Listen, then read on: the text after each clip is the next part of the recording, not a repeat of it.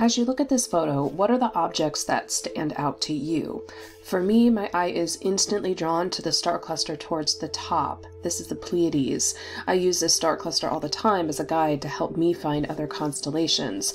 In fact, the two easiest star clusters to identify in the sky are the Pleiades and the Hyades, both of these which are in the constellation Taurus and right next to each other in the sky. It even has its own asterism called the Golden Gate of the Ecliptic because the sun moon and planets pass through these two star clusters.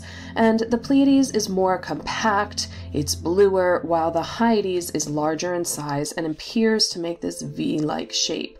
So in this video, we're going to look at the similarities and differences between these two star clusters of Taurus, the Pleiades and the Hyades.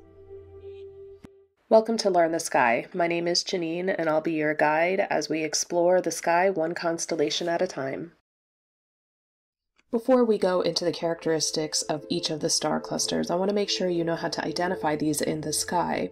So here's the pattern of Taurus, and hopefully the Pleiades stands out to you. It kind of has like a small little dipper shape, and the stars are more compact. And then the Hyades are have some differences in color, and there's just a wider view, um, wider field view of the stars. So these two together make up the asterism known as the Golden Gate of the Ecliptic. And this has been known for several thousands of years. It's a recent discovery of mine. And really, this was dubbed this name because all the planets, as well as the moon and sun, pass really closely along the, the line known as the ecliptic and these the ecliptic goes through here so that's how it got its name. And if you take a look at this picture here hopefully you can find the Pleiades to the right hand bottom corner and then from there can you find the Hyades?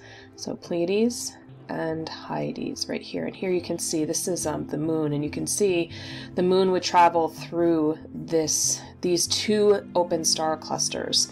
So now that you know how to ID them in the sky, Pleiades, Hyades, let's go over its their characteristics. So first, the Pleiades is an open star cluster. It is located in Taurus, and it has a few different names, especially, this especially varies from culture to culture, but to astronomers, it's known as Messier 45, and its distance is about 444 light years away, give or take a few light years there.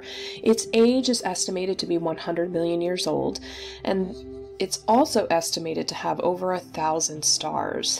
In terms of its mass, it's estimated to be 800 solar masses, and it's mostly made up of hot blue stars. And you can see there's some nebulosity here throughout this star cluster, and that's a little different than the Hyades. So when we look at the Hyades, this again is classified as an open star cluster, and its distance is different. It's closer. It's 153 light years away, and its age is older as well than the Pleiades. It's estimated to be 625 million years. So that's why we see that variety of color there. These stars are older. So in terms of mass, it's not as massive as the Pleiades. It's estimated to be 400 solar masses, and in terms of how many stars here, I, I really struggle to pin down the number, so it's estimated to be in the hundreds, but it could be more. And it is the closest star cluster to Earth. That's why it's it's heavily studied because of its distance, and we know a lot about this star cluster.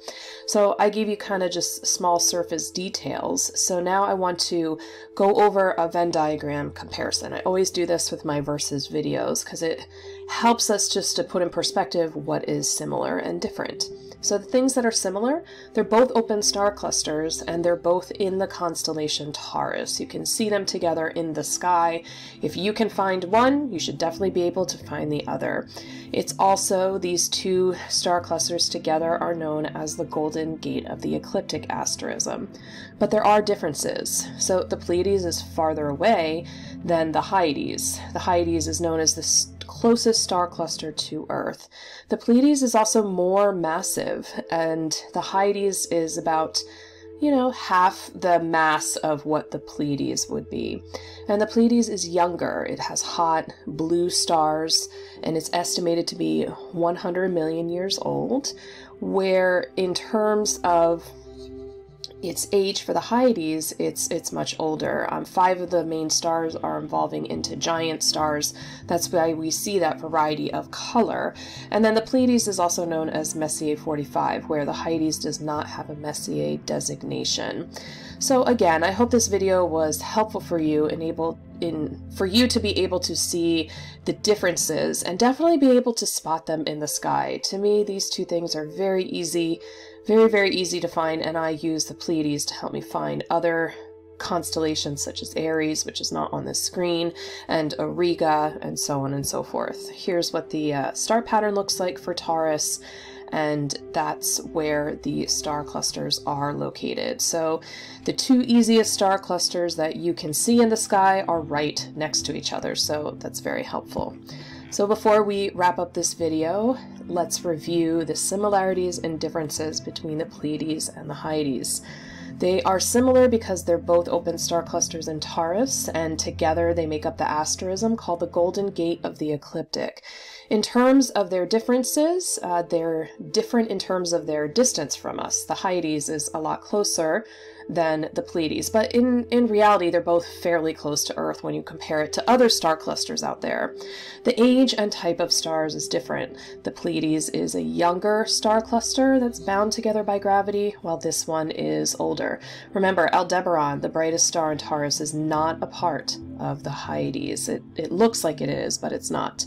And then their mass is also different. This is twice the amount of mass than the Hyades. So thank you so much for watching. I hope this video was helpful for you.